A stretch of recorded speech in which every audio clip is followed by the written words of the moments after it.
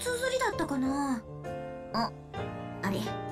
なんか違う感じがする。えー、っとこうだったかな？あ何してるのかって。見ての通り名前書く練習。私もうちょっとしたら名字変わるんだけどなんかしっくりこなくてさ。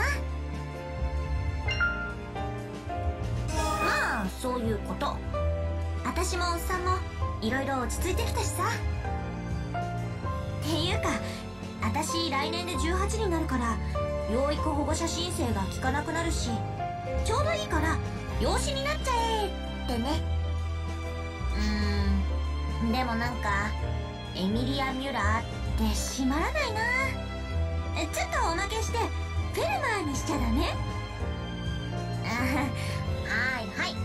名字は家族で引き継がれるもの。勝手に変えちゃ意味ないってことぐらい。分かってるって。でもな。おっさんの名字がシュバルツシルトとかだったら一問二もなく養子に入ったのにな。あなんでそんな名字がいいのかって？そっちの方がかっ